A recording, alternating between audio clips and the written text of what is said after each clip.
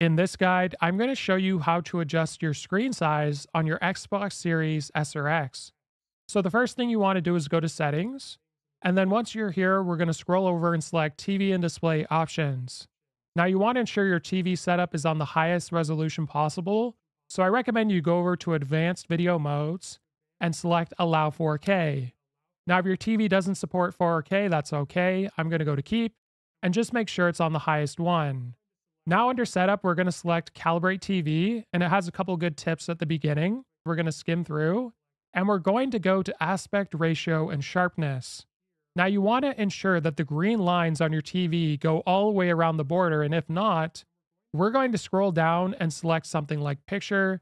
It could say screen settings. It could say aspect ratio. And you want to adjust some of these.